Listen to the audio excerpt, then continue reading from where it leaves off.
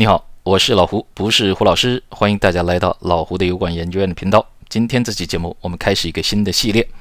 大家可能注意到了，我最近开始了一个收费的群，我把它叫做“老胡的自媒体服务群”啊，这不是一个知识分享的群，是一个服务的群。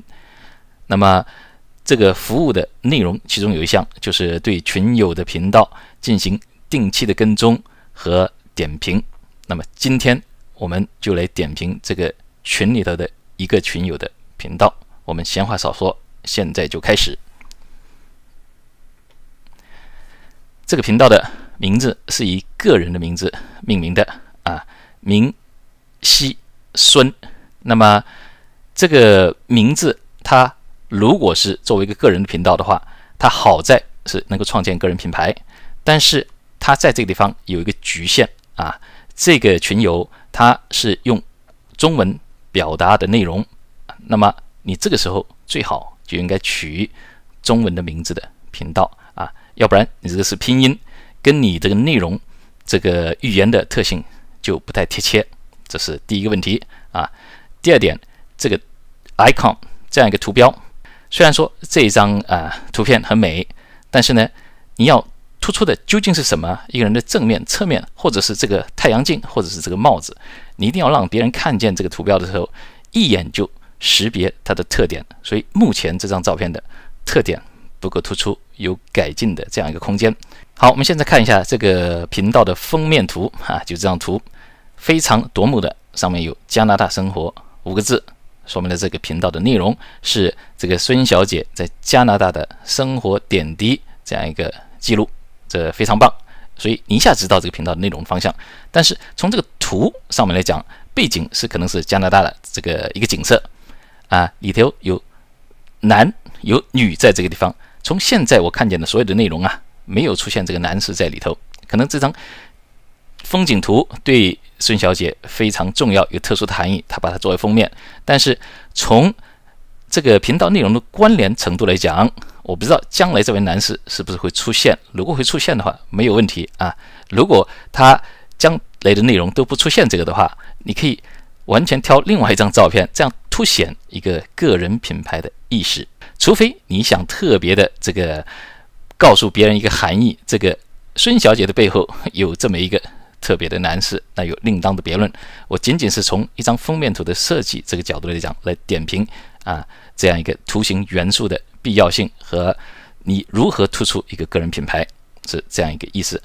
接下来我们看一下这一个频道的各个页面。第一，这个首页啊，首页现在暂时出现的问题是定制不够啊。这个上传的视频是这个频道缺省给你的这样一个配置啊。目前定制的只有一个护肤美妆。关于这个频道首页的定制，我给你看一下我这个频道的例子啊。当你是这个频道的管理员的时候。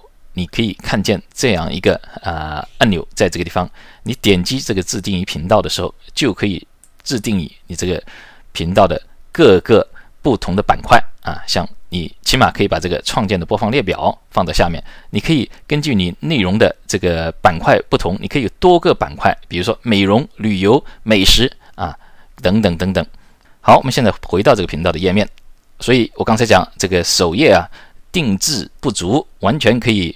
出现多个的板块，当然现在孙小姐的视频不够多啊，以后将视频比较多的情况下，一定要把这些东西分成不同的板块，把它定制起来，最起码要把一些播放列表放在你的首页里面。紧接着我们来看一下视频这个页面，视频这个页面主要看什么东西呢？看封面的一致性啊，一致性有很多的元素，我随便给大家举几个例子啊，比如说这个。大小的一致性，你看这个封面就比其他的封面都要小。第二个，字体的一致性，你看这个是一种字体，这个是另外一种字体，不同的字体啊。然后呢，颜色的一致性，你可以看到这个偏灰，这个颜色又偏黄颜色啊。背景相同的情况下有不同的颜色，因为用光不一样啊，所以这个就一致性啊有问题。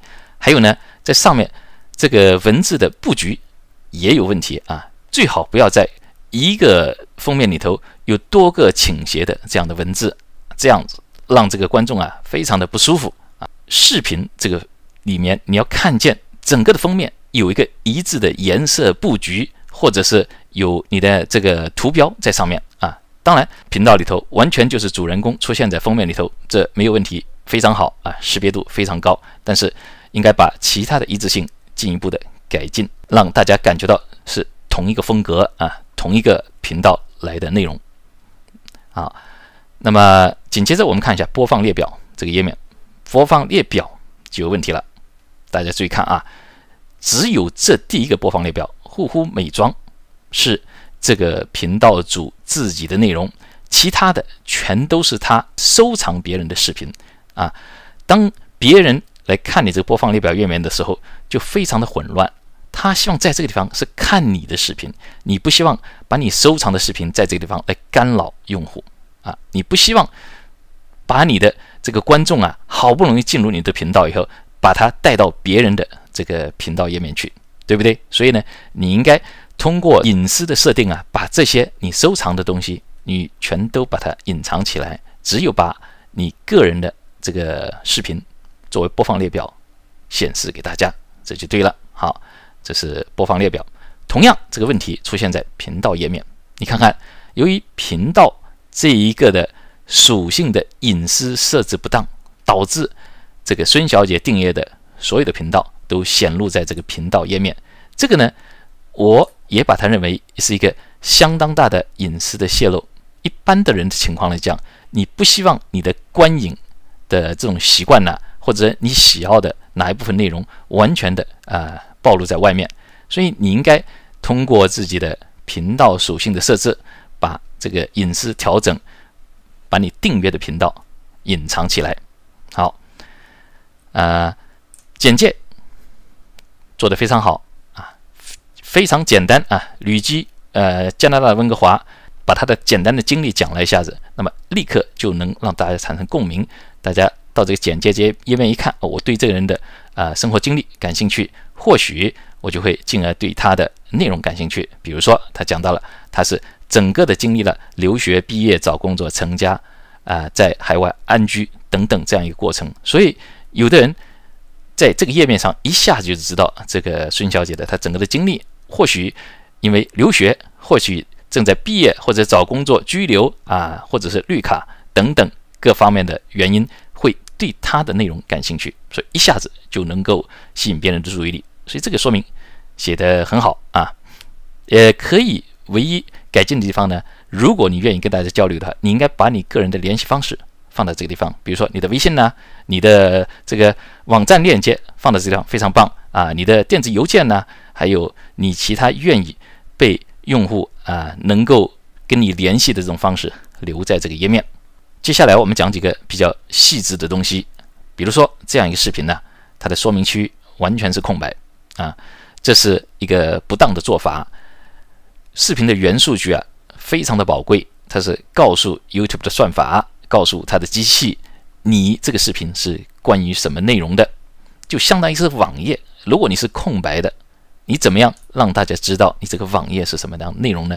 所以非常重要的，你写比较详尽的这样一个说明，能越详细越好啊。如果你有功夫的话，应该把这样一个说明区啊。当做一个网页的页面这样来对待啊，甚至考虑到优化关键字等等各方面的因素在里面。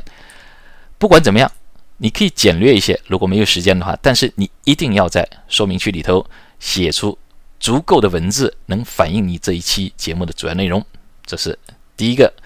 第二个问题，你看看这一个频道啊，它没有任何的关键字。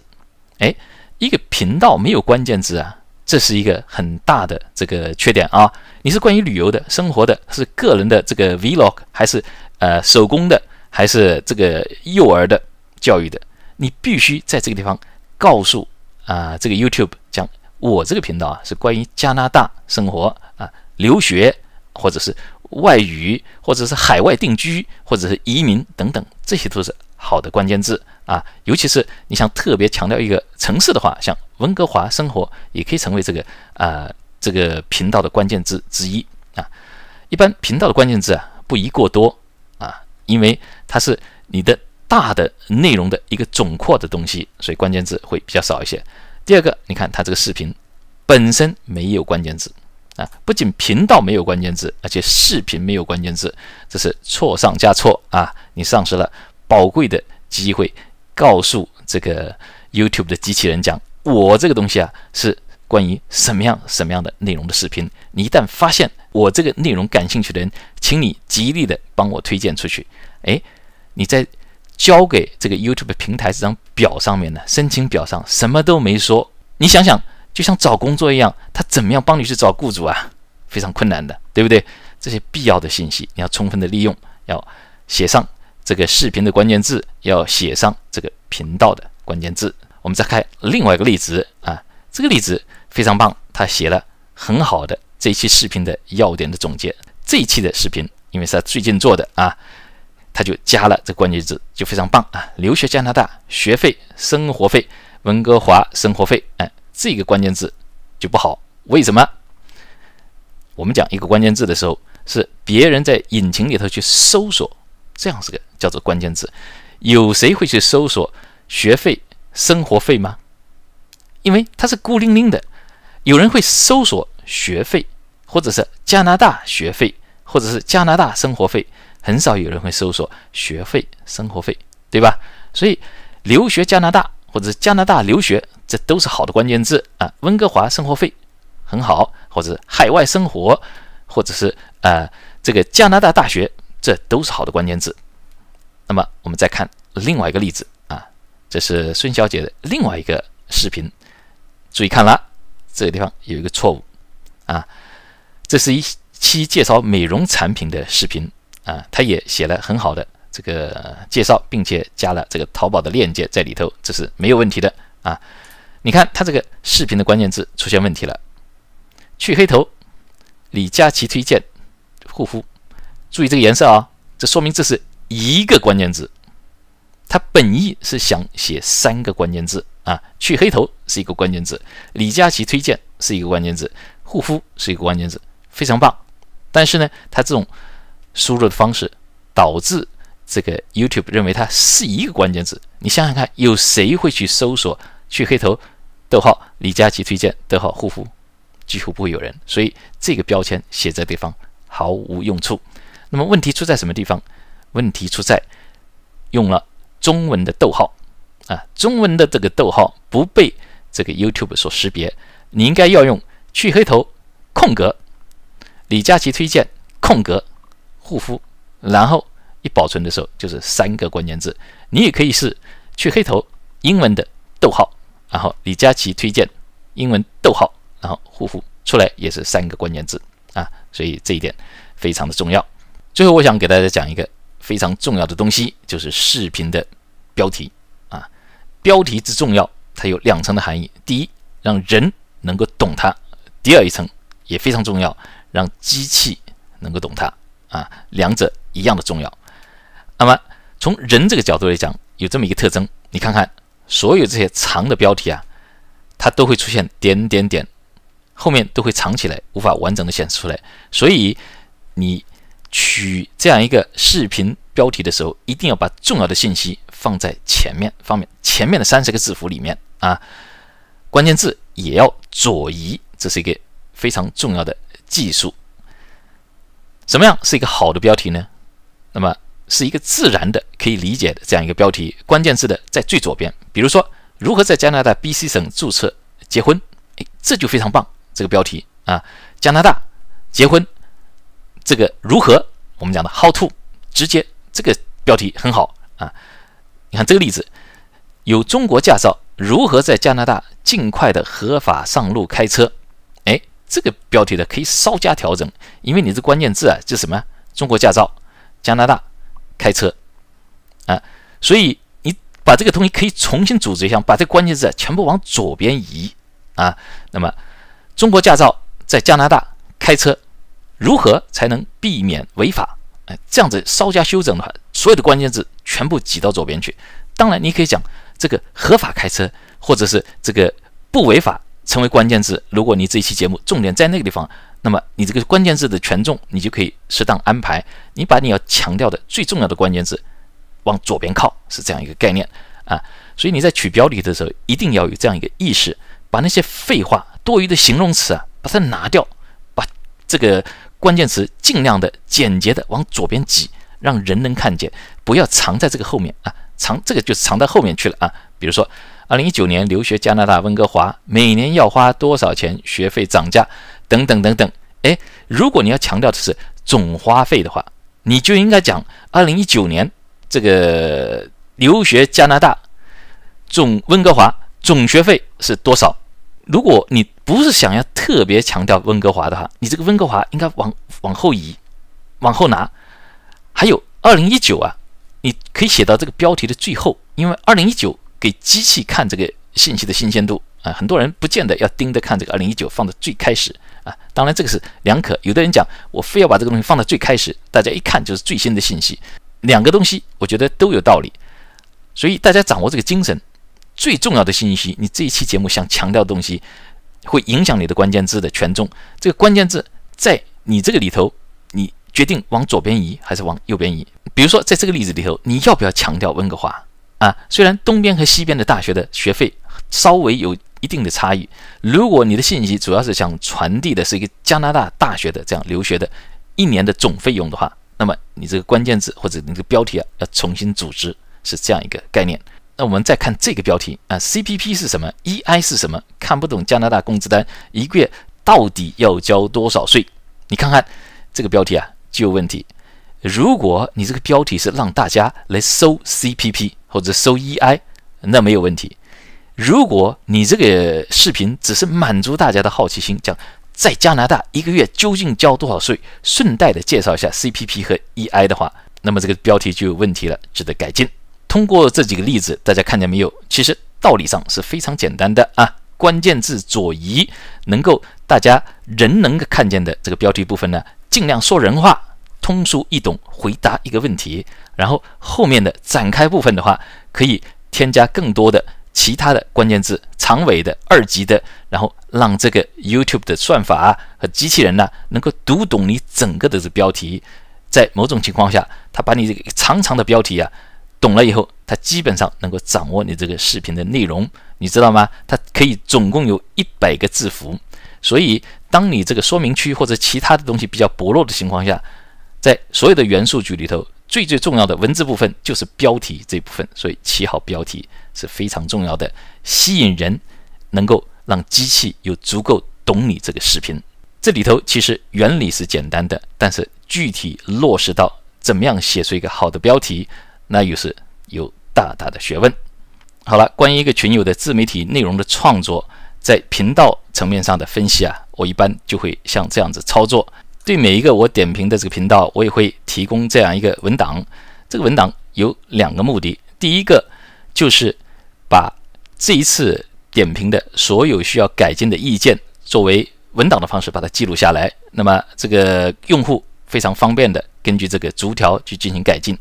第二个目的就是，这作为一个历史的记录的文档，将来我们可以看见今天提出的这改进意见，哪些得到了落实，在落实过程当中有没有真的起作用，对这个频道的将来的成长和发展有没有帮助啊？那么将来我们在第二次再来点评这个频道的时候，我们就有一个数据的对照，所以我在这里头有不少的这个截图啊，作为留存，将来以做对照使用。那么关于这个频道的点评内容就到这里结束了。接下来一点小小的广告，如果有人对我这个付费的群感兴趣的话，我在前面做过一期专门的节目，就是这期节目老胡的自媒体服务啊，我开创的知识星球的收费群。没有想到，我就在开创这个收费群的当天，知识星球就掉链子了啊，到现在都没有恢复起来。所以大家如果看这期节目的话，就可以忽略知识星球。这一部分，我在这期视频里头讲了我为什么要创建这样一个收费群，并且明确的告诉大家哪一些人我是不欢迎的。所以，如果你有兴趣进一步了解这样一个收费群的话，欢迎你去看这期节目。看过之后，如果你还想了解进一步的信息的话，希望你通过微信跟我联系。好了，这期节目就到这里，感谢你的收看，我们在下期节目再见。